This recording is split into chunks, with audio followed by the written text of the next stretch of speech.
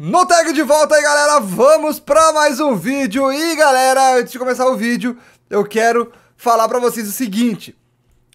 Ontem eu postei um vídeo mostrando os lances de Jesus Medina. Isso mesmo, um, um jogador que estava sendo especulado pelo Grêmio. Porém, o jogador a ser contratado mudou. O jogador que tem o nome mais repercutido agora no momento é o meia do Universidade Católica e iremos falar sobre isso.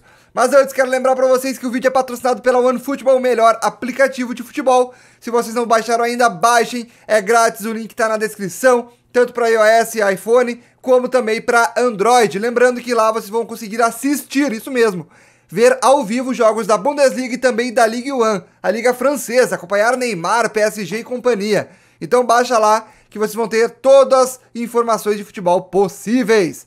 Galerinha, vamos então falar sobre o meia que o Grêmio está contratando.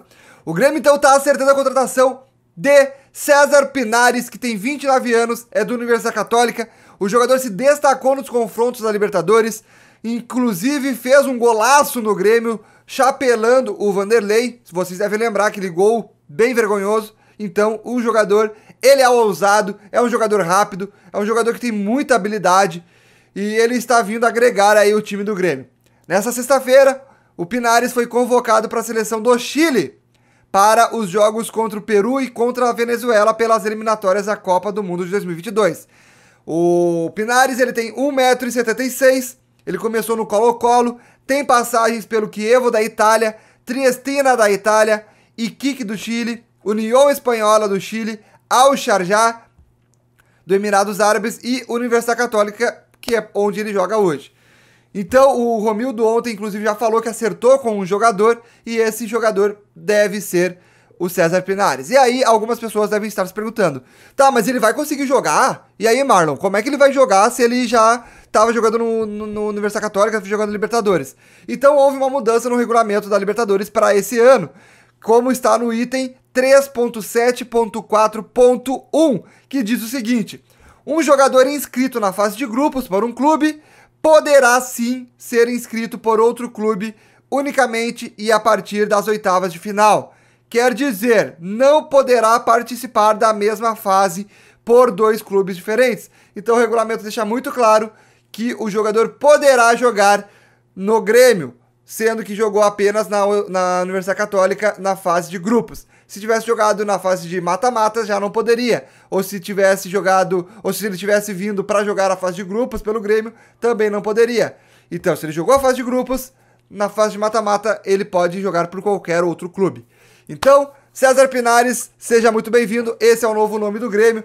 Os valores e tudo mais a gente não tem ainda, mas em breve a gente deve saber. O Grêmio deve estar anunciando de forma oficial entre hoje e amanhã. É como eu falei, né, galera? O Grêmio iria acabar contratando alguém de forma surpreendente.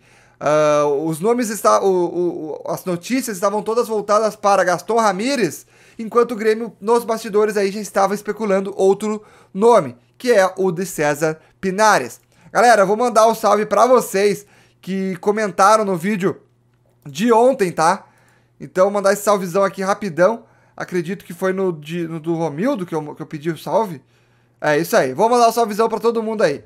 O salve aí, Alisson Martins, uh, Gustavo Steffen, Micael Silva da Costa, Zico Dapper, Robert Botelho, Eduardo HR, Marcos Viscoff, Guilherme Bortoloso, Henrique Mariani, Lucas Silva, Fabrício Silva de Moraes, Jean Groff, Miguel Brawler, Matheus Weingartner, Yuri Vasconcelos, uh, ele falou se Vasconcelos, desculpa, ele falou o seguinte, no tag, tu é um mito, pra não dizer foda, cara.